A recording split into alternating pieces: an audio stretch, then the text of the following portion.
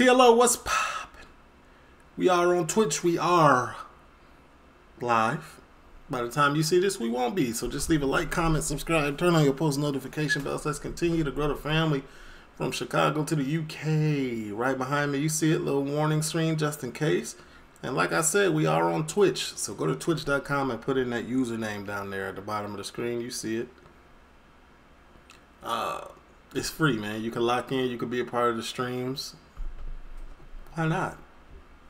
Probably bored anyway. Just you know. Um, we also got Patreon where we post five days a week, Monday through Friday. That stuff we can't watch on YouTube. This is Vice. Inside Belfast, deadly benzos boom. This is the war on drugs. We are here for educational purposes. YouTube. Copyright disclaimer under Section 107 of the Copyright Act 1976. Allowance is made for fair use for purposes such as criticism, comment, news reporting, teaching, scholarship, and research. Fair use is a use permitted by copyright statute that might otherwise be infringing. Nonprofit, educational or personal use tips the balance in favor of fair use. No copyright infringement intended. All rights belong to their respective owners. Come on, Brendy. this is you. Get off the screen. Oh, here we go. Taking tablets is like smoking grass here. You know, it's just so normalized. At those 10 milligrams, we call them blues. Everybody uses them. They're like sweeties here. You just feel like a god after taking it. The had prescribed of all benzos because of the trouble. Here, people are taking 50 or 60, 10 milligrams. Of all benzos because of the. Somebody drew this? An artist artist this? Oh man. This is pretty tough. My fault. I know that's not why we here. Like a god after taking it. The had prescribed of all benzos because of the troubles. Here, people are taking 50 or 60, 10 milligram tablets in a go, and their mouths are turning blue from the actual dye on the tablet. This is how benzo use has exploded in Northern Ireland, and how that shift is linked to the region's unique history of civil war and terrorism.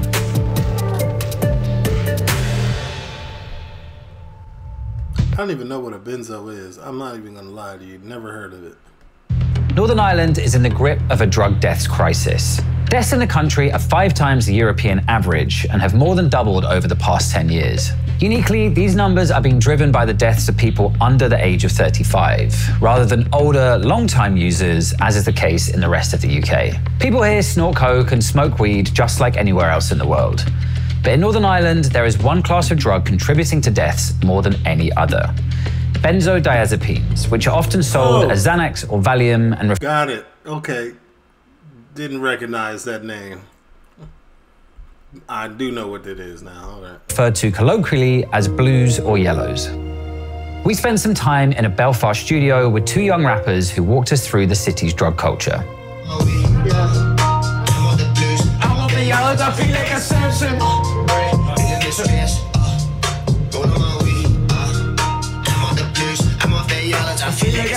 Just want to hear a fucking really beautiful song I made whenever I bought on them. Like, When you were oh, I was full, I was full of the fucking tablets, but like, end up making this. I see looking from across the room. Blue skies are nearly lost in the moon. When I was like going through that, that period of my life where my head was just completely melted, and I didn't really know where else to turn to, I was prescribed them, and then ended up just eating all the prescriptions, and it got to a point like my own family and all wouldn't even recognize me. So you basically you had like one or two today. Yeah. How does that feel then? I'm alright, I'm well enough, mate. Taking tablets is like smoking grass here. You know, it's just so normalized within the culture here. You always hear about like, oh, somebody fucking stealing a couple of tablets on their granny or something. Do you know what I mean? And Granny's ones are the best ones. there was a couple of days there in summer, and I was about to do like the biggest gig of my life. I was getting the fake ones, and then I got like maybe 50 fake ones for like 25 quid. And honestly, there was a good like three or four days. I can't remember most of it. Stuck about 20 in a fucking McFlurry. uh, and I was just, I was just, I was just munching them, and ended up fucking getting my hair cut in the middle of a party, falling asleep, drooling out of my mouth and shit. That's real hype type energy. Like, what is. I'm listening to his music in the background. It's pretty decent, though. Fucking in La La Land makes you feel fucking invincible sometimes. Do you know what I mean? You feel like you you can fuck you're Superman, but you're actually walking at fucking the slowest pace of your life, and you're drilling out of your fucking mouth. Oh. Oh. Here, here, here. Got him on. You go. Is he? This dude, this dude reminds me of Skrilla. I don't know if y'all know who Skrilla is. S K R I L L A. He's like a. I think he's from Baltimore or Philadelphia or something. I don't know, but he a rapper, American rapper. But he's actively also like a a class A fiend. But he's open with it, and he's like the king of Skid Row, whatever they call it over there. That's what he reminds me. You love it. These are Nothing to be proud of. put in. Boom. If you're anxious, you'll not be thinking about anything that makes you anxious. But there's a fine line between, like, between feeling mellow and then Being a blacking mess. out and waking up in Musgrave Police Station. You know what I mean? Yeah. And see, anytime I get arrested, just blacking out in blues. Aye, there's stories of him fucking sitting there in a studio, fucking where, eat, eating a curry chip, falling into it, and fucking being sick on himself and all. Yeah. You're only a kid. It was about two But years I ago. was- I did have the time of my life a few times, but then the amount of Brindy or anybody, y'all can understand them without watching the subtitles? Because I'm glued to the subtitles. I don't know what they're saying. it was about two But uh, years I was- ago. I did have the time of my life a few times, but then the amount of mates like I would have lost due to them. The amount of mates everyone we know's lost. It's there's a real ugly side to it. The north of Ireland has the worst like mental health services. You're on big waiting list to get counselling. It's a lot easier for a doctor to just go, "Where's a box of tablets?" Where the highest prescribed of all benzos because of the troubles. Yeah, we, we carry our, our parents and our ancestors' trauma down from the troubles or the war or whatever you want to call it. And a lot of them also have PTSD. And then a lot of the younger people will have PTSD from just what they see just running about the streets and on. My goal is to just to be done with them, do you know what I mean? But it's one of them things, old habits die hard. From the late 60s until 1998, Northern Ireland suffered what's come to be known I could, like, his reasoning is uh, kind of valid. known as the Troubles. Catholic Irish nationalists and Protestant loyalists fought each other and the British Army over whether the province should join Ireland or remain part of the UK. All in all, over 3,500 people were killed before the conflict officially ended with the Good Friday Agreement.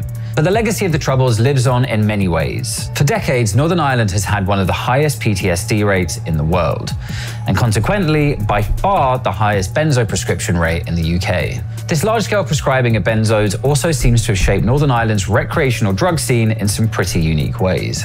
Traditionally, people don't tend to pair party drugs like coke and MDMA with benzos, unless they're using them to come down at the end of the night. But in Belfast, it's not unusual to see people popping blues alongside their bumps, keys, and lines. Fucking first night of chaos.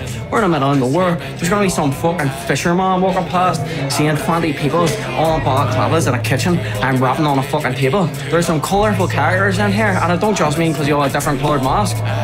You're not about Are is that a video shoot or they just is that the stage? They're in a, in a regular apartment. to see chaos unfold here. You're about to see people fucking sniffing lines off tables and a whole manner of fucking weird shit. That there's 10 milligrams. We call them blues.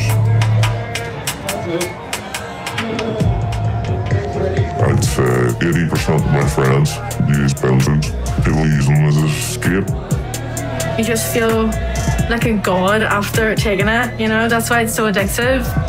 Our parents, they were all prescribed Goblin and diazepam because of the PTSD they experienced from the troubles. And then all us growing up thought that was normal. It's Easy to get, they're cheap. Like they just started off just taking them you know, for fun, and then they would just spiral from there. You can take it on a daily basis and like not have like a calm down from it. I get really silly, so I just be like, There's probably no short term effect, but there's definitely a long term effect. This is a prescription drug that you are taking without a prescription for it and really abusing it. I don't want to sound like that guy because obviously of my my past, but at the same time, this is not. This ain't the one. this ain't the one. like Bambi on ice skates going about a house party. Then there's obviously people here taking like 10 or 12 and then taking cocaine, uh, going mental. Honestly, they're everywhere. I've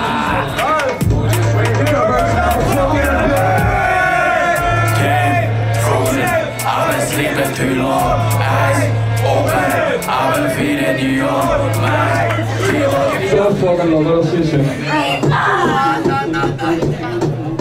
I'm not gonna lie, the party looked lit. Now I will give them that. Bro is performing in a an apartment on top of a table to his friends. That's real support. I feel fucking great. I, you know, listen, energy levels are still high. I feel waved out to fuck, and I am flying through fucking time and hyperspeed right now, boy. I'm telling you. The scale and breadth of benzo use you see in Northern Ireland is fairly unique. Unlike other classes of drug, they're used for various reasons by basically every section of society. Many have their drugs prescribed by doctors, many others seek them out on the booming black market, where they're cheap and incredibly easy to access alongside other prescription meds like pregabalin and gabapentin. The current situation with benzos is we're seeing a, an increased number of young people using them, and then a, a whole plethora of other people who just mix it with heroin and other drugs to get higher than they were before. Belfast, in particular, has always had a really strong history of use of benzodiazepines. Record numbers of people were prescribed diazepam and other benzodiazepines by GPs to cope with the trauma of living in a conflict zone. So people were just overly prescribed these drugs uh, as a crutch, and it just so happens it made you feel really nice and really good. Here, people are taking 50 or 60 10 milligram tablets in a go. You know, they're just eating them in their mouths, they're turning blue from the actual dye on the tablet. They're cheap they're available and they, they get the job done. And we've got an increasing number of people looking for help and just not being That sounds all insane. able to access it. So it's it almost like comes like you're being given permission by services to go and use because they can't help you. We've got, got a lot of uh, given permission by services to go and use because they can't help you. We've got a lot of uh, illegal benzodiazepines, people who are buying maybe a thousand blues from India and no way of telling whether those do have 10 milligrams of diazepam or 40 milligrams or 50 or 60. You know, you just don't know. It's it's rather inexpensive too. I think it's only about 200 pounds for a thousand of these things. These knockoff prescription pills can have a pretty dramatic effect, especially if you don't know how strong they are. When I was about 17, me and my friends thought just a bit of, you know, crack, we'll take these tablets. Took them, and that was kind of the last thing I remembered. Till about six, seven days later, I got an ambulance rang for me, went into hospital. What did you just say? I remembered. Till about six, Until about six, seven days later, I got an ambulance rang for me, went into hospital. Apparently, in that time, I'd flatlined my heart. was going from whatever it was to zero. The doctor in the hospital said, you know, whatever she's taking is stronger than heroin. I don't know how I'm still here. It's so easily gone. Like these things are from pages on the dark web, and half of them are. They're obviously they're not what you're paying for. You know, they're mixed with all sorts of shit. You don't know what's in them. As illicit benzo use has skyrocketed, Northern Ireland has seen an unprecedented increase in drug related deaths. Prescription benzos aren't necessarily dangerous in and of themselves, but using them with alcohol or heroin or taking them by the handful can greatly increase the risk of overdose or death. The most recent development in the world of black market benzos is particularly concerning. Recent tests show that nitazines, powerful synthetic opiates that can be up to 300 times stronger than heroin, have started working their way into Northern Ireland's counterfeit prescription drug supply. We know from See, man, and this is why anything that's pressed, anything that's in a capsule, you should be drug free anyway. But don't don't, because you don't know what people cutting stuff with and mixing it with, and it's just not safe. It's just not safe. Go ride a roller coaster or something. Go go ride a motorcycle if you want. If you want to feel a rush. Preliminary testing that some of the benzo, particularly the, the street or the designer benzos, do have the presence of nitazines, which are a strong synthetic opioid within our benzodiazepines. So in Northern Ireland, firstly, we, we have the highest uh, rate of drug deaths in relation to younger people or young adults, 18 to 35 year olds. And we can see that there's been a huge increase in the past 10 years of designer street benzos and ordinary uh, prescribed uh, medical benzodiazepines uh, in the toxicology reports. We're specifically different, I think, in Northern Ireland because of the mental health problems that have been created as a result of the conflict. We have the highest rates of depression and anxiety, and the latest study in 2020 also indicated they were still uh, have three and a half times the higher uh, prevalence rate of prescribing than England. We do see the vestiges of what we call transgenerational trauma, and we see the pattern grandmothers, mothers, daughters having this issue. Well, y'all need to go ahead and implement something to nip this in the bud. If y'all know it's just PTS and trauma, why don't y'all put more counselors and make it easier? Like, it, it ain't, like, I, I understand that there's a lot going on in Ireland and they might not have the resources, but something has to, something got to give. Issue with prescribed and non-prescribed benzos. And the youth shouldn't have to suffer. The youth shouldn't have to give. Something else should have to give to make the lives of the youth better. Benzodiazepines.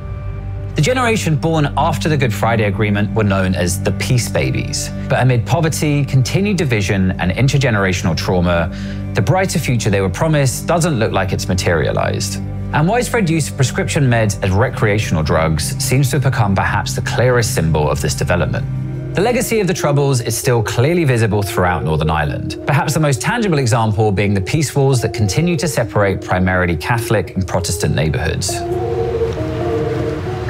Put it this way see everyone we know, one of their family members been shot or had some involvement with this war and seen some things that have traumatized them for the rest of their lives, right? And then that leads to drug use, using as a, as a way to cope because you're fucking traumatized. You know, the only thing the way you can d- deal with trauma is to around here with some people is take drugs, unfortunately, and a, a big drug would be. That's not the only way, but you know that's what's being